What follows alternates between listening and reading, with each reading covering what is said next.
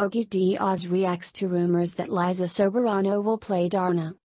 Amid rumors that Liza Soberano will play Darna, her talent manager Ogie Diaz has opted to wait for Star Cinema's official announcement before confirming anything.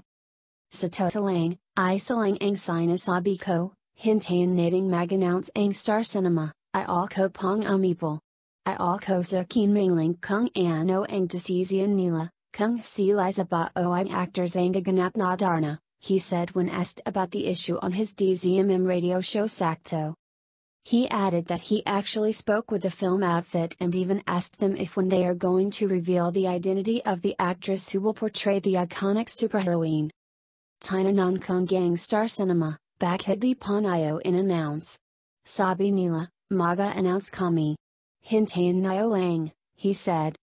Without confirming anything, Ogie stressed that he is sure about Liza wanting to play Darna. Gustong gusto ni Liza maging Darna. Totiyan, Totiyan. Si I'm persino bonaman ang i amaging Darna.